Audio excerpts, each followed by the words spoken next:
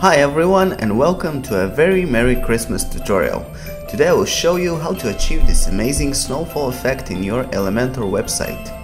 For this we're going to be using a small bit of CSS code.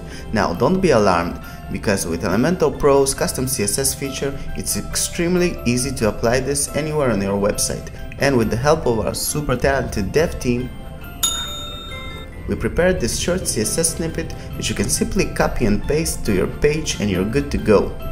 For this video I'll use one of our decorative Christmas templates, which is also available in our library for you to use. Now let's dive right in.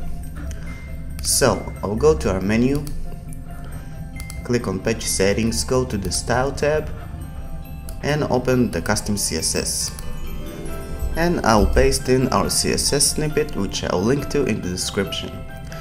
What happens here is we just created a CSS class called snow-bg.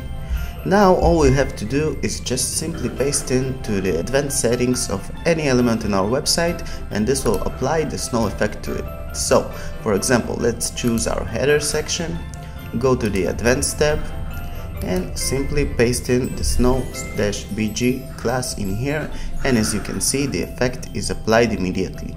This effect is actually achieved by animating three images of snowflakes. A quick note here, right now these images are stored on an external server and if you want to be super sure that they stay there forever, you can simply download them and upload them on your own website by simply changing the links in here. Now let's go on and apply this effect to a column. So for this example, I'll quickly change one of our columns into a darker color so you can clearly see the effect.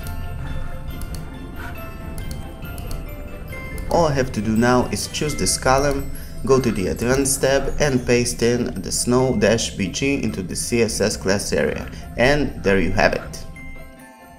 I can also apply this effect on a widget. So if for example I choose our Christmas tree image, go to the Advanced tab and paste in the CSS class, there you have it, it gets our snowfall effect. I can actually use this trick anywhere in my page and decorate my website as I see fit. I hope you've got some value out of this video. Please subscribe to our channel for more useful information and awesome tutorials. This was Ilya from Elementor and Merry Christmas to you all.